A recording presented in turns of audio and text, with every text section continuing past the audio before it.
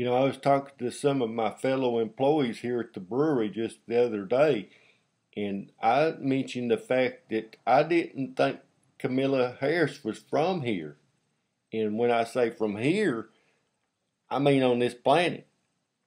I think Kamala Harris is an alien, and uh, it's just my opinion, but I think we need an Earthling as president because California's got more aliens than you can shake a stick at now. I, can tell you that much.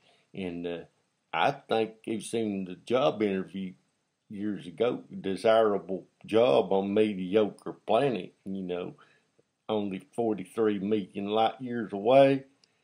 Yeah, it, it gets broadcast stuff like that job openings do in outer space, and they don't think aliens don't have help wanted ads out there, you know. See, I, I think she, we need Earthling, is president.